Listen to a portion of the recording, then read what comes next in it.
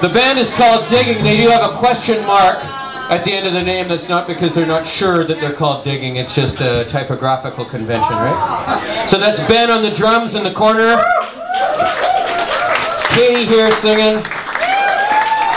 Liam to my left. And behind him, Ethan on bass guitar. This is Digging, folks.